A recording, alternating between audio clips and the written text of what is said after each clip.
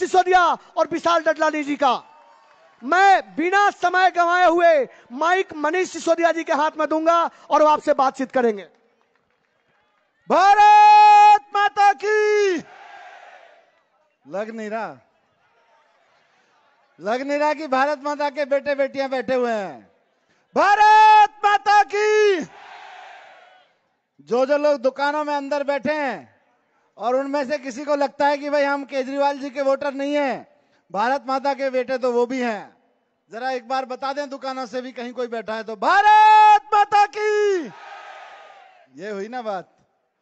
मैं सबसे पहले तो पटपड़गंज विधानसभा क्षेत्र में देश और दुनिया के सबसे मशहूर गायक, हमारे मित्र भाई विशाल डडलानी जी का बहुत बहुत स्वागत करता हूँ। एक बार बताइए मयूर विहार की तालियों से हम इनका स्वागत करें। मयूर विहार, पिछले पाँच साल में बहुत बड़े बड़े स्टार्स यहाँ पे पहुँचे हैं। और ये आपके वोट की ताकत से हुआ है। और आज एक बड़े स्टार आपका वोट मांगने के लिए भी आए हैं। साथियों, मैं बहुत लंबी बात ना करते हुए, क्योंकि काफ़ी देर से आप लोग बैठे हैं।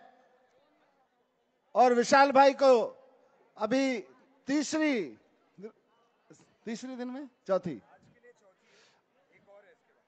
अभी चौथी है आज की ये सभा, पांचवी में भी जाना है।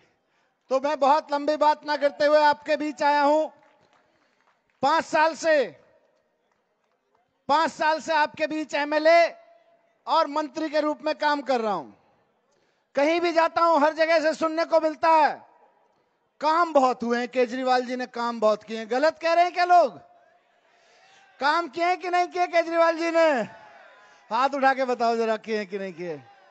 केजरीवाल जी ने काम किए काम पे वोट पड़ेगा। काम पे पड़ेगा। पटपड़गंज का वोट कहाँ पड़ेगा?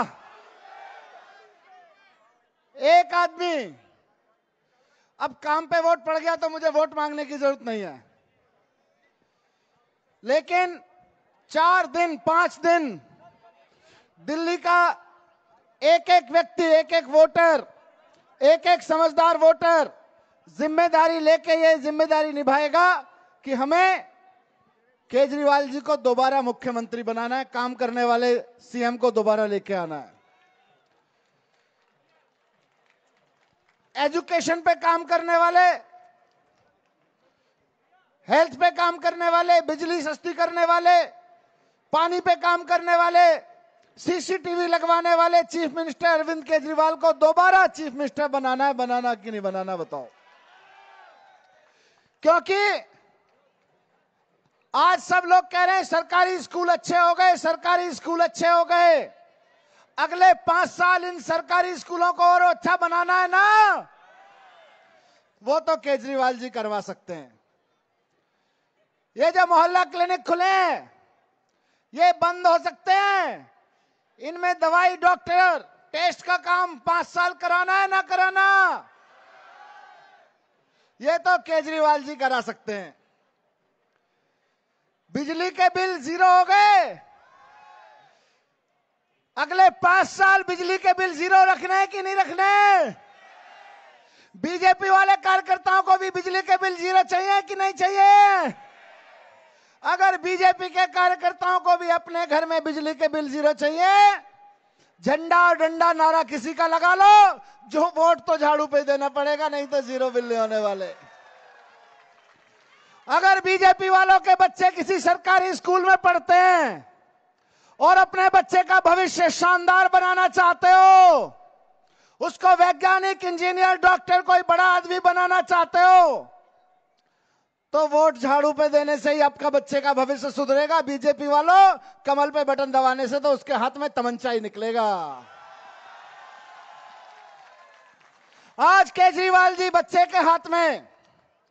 मेरा सीना चौड़ा हो जाता है, मैं जाता हूँ किसी सरकारी स्कूल में। एक रिक्शे वाले का बेटा, एक दुकान में काम करने वाले किसी भाई का बेटा, हमारे यहाँ जवाहर मोहल्ले में रहने वाले किसी ऑटो चाल, ऑटो वाले का बेटा, उसकी लड़की हमारे स्कूल में व्हाइट चौंगा पहन के माइक्रोस्कोप में झाँक के रिसर्च कर रही होती है सेल की।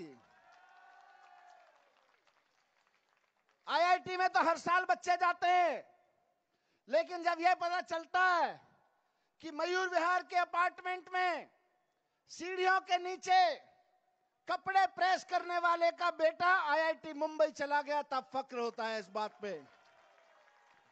तब केजरीवाल जी पे फक्र होता है।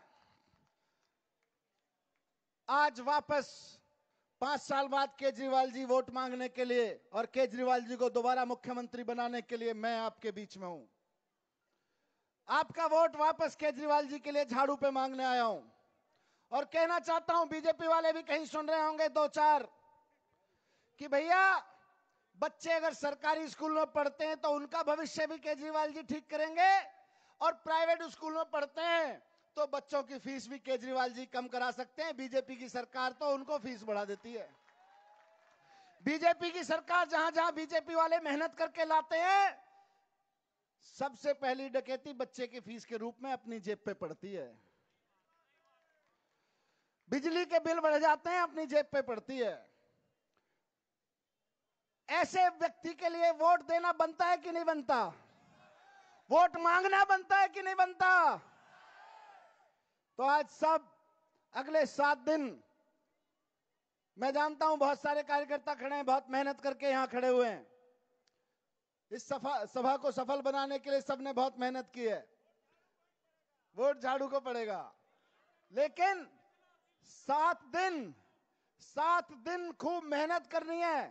एक एक व्यक्ति को अपने अड़ोस पड़ोस में समझाना है कि भैया, बच्चों का भविष्य, परिवार का बिजली का बिल, परिवार का बजट, केवल और केवल अगर अगले पाँच साल ठीक चलाना है तो केवल और केवल झाड़ू का बटन दबाना है। आखिर मैं एक चीज़ कहूँगा, पूछना चाहता हूँ आपसे। दो दिन से दुखी हूँ मैं थोड़ा सा किसी चीज़ को लेके। दो दिन पहले मैंने सुना, ये बीजेपी वाले कुछ कुछ कहते रहते हैं, हमें गाली वाली देते रहते हैं, हमको बुरा नहीं लगता। लेकिन उन्होंने एक बहुत घटिया बात कही है, जिससे मैं दुखी हूँ। आप बताना कि आपको दुख पहुँचा कि नहीं पहुँचा? एक लड़का आईआईटी में जाता है। आईआईटी पास करके इनकम टैक्स का कमिश्नर बनता है। इनकम टैक्स के कमिश्नर की नौकरी छोड़ के वो राजनीति में, समाज सेवा में आता है, राजनीति में आता है। दिल्ली का मुख्यमंत्री बनता है। पाँच साल मेहनत करके दिल्ली के 44 लाख बच्चों के फ्यूचर बनाने के लिए दिन रात एक करता है। दिल्ली के गरीब से गरीब आदमी के घर में बिजली की बत्ती जल सके, उसकी जितनी तनख्वाह, जितनी आमदनी है, उस आमदनी में वो अपने बच्चों को टीवी देखने के लिए मना ना करे कि भाई बिजली का बिल ज़्यादा आ जाएगा, पंखा का बिल ज़्यादा आ जाएगा, हीटर का बिल ज़्यादा आ जाएगा, वो अपने बच्चों को मना ना करे। इसलिए 200 यूनिट तक बिजली फ्री देता है और बाकी सब लोगों के लिए नोएडा और गाजियाबाद से लेके तमाम देश के राज्यों से आधे दाम पे बिजली उपलब्ध कराता है, ईमानदारी से उपलब्ध कराता है। वो आदमी, वो आईआईटीएन वो इनकम टैक्स का कमिश्नर, वो दिल्ली का मुख्यमंत्री, दिल्ली के हर अमीर गरीब के लिए कुछ ना कुछ करना चाहता है। आज दिल्ली में 24 घंटे बिजली आ रही है तो केजरीवाल की वजह से आ रही है, क्योंकि एक आईआईटीएन को इंजीनियर बना दिया था चीफ मिनिस्टर बना दिया था आप लोगों ने। उस आदमी को आज बीजेपी के लोग खड़े होके सत्ता के लालच में कहते हैं कि वो आतंकवादी है। सत्ता के लालच में बीजेपी वाले कहते हैं कि अरविंद केजरीवाल आतंकवादी है। आज दिल्ली के लोग बैठे हुए हैं। मुझे दिल पे हाथ रख के बताइए, क्या अरविंद केजरीवाल आतंकवादी है? क्या अरविंद केजरीवाल को आतंकवादी कहा जाना चाहिए? जिसने आईआईटी के पढ़ाई करी इनकम टैक्स की कमिश्नरी छोड़ दी, जिसकी वजह से आज दिल्ली के लोगों के बच्चे शानदार पढ़ रहे हैं, जिसकी वजह से आज पूरी दिल्ली में लाखों लोगों के घरों में बिजली के बिल ज़ीरो आ रहे हैं।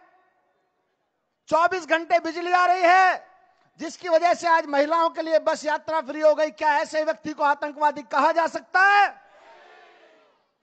आज मैं आपसे यही बात पूछने आया हूँ।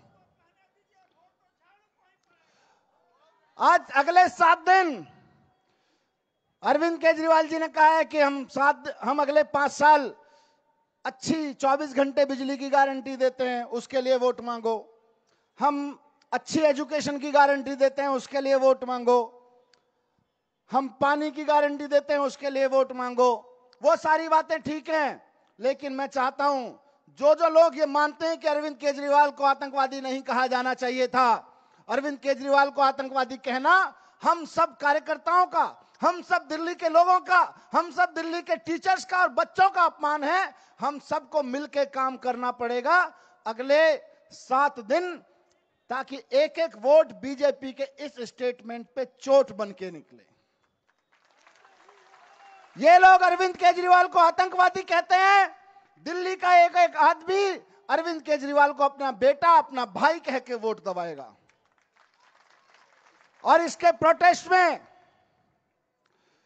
आज पूरी दिल्ली में हम सब लोगों ने मिलकर जो जो लोग अरविंद केजरीवाल को चाहते हैं, इसका प्रोटेस्ट किया है।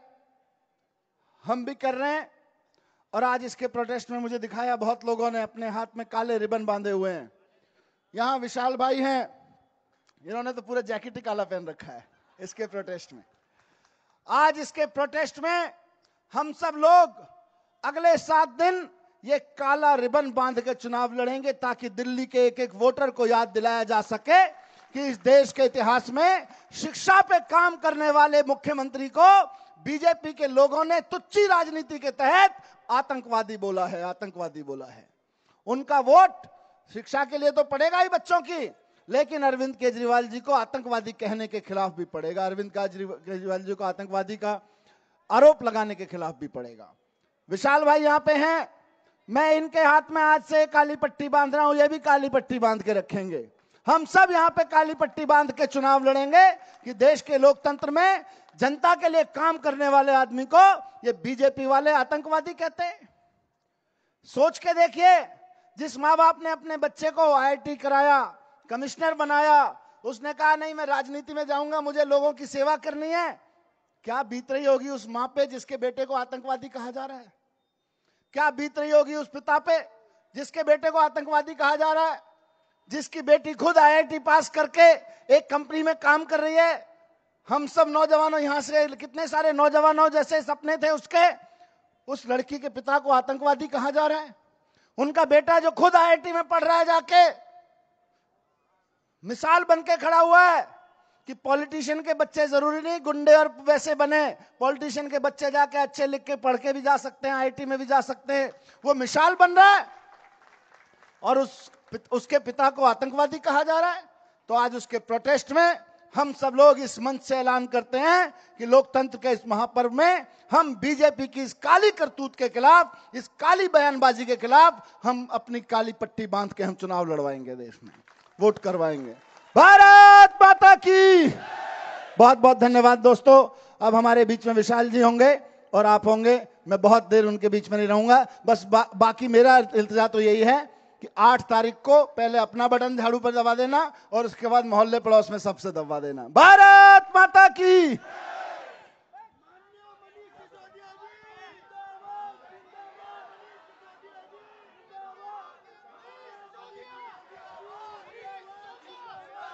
काम भाई काम बोलता है? पीछे से भी आवाज़ आना चाहिए। काम बोलता है भाई, काम बोलता है। काम बोलता है भाई, काम बोलता है। अच्छे होंगे पाँच साल। अच्छे होंगे पाँच साल। अच्छे होंगे पाँच साल। आप सब लोगों को भी यहाँ काले रिबन दिए जाते हैं। जो जो लोग इस प्रोटेस्ट में शामिल होना चाहते हैं, वो अपने अपने हाथ में यहाँ से काले रिबन हमारे वॉलंटियर्स देंगे, उनसे ले लीजिएगा। Thank you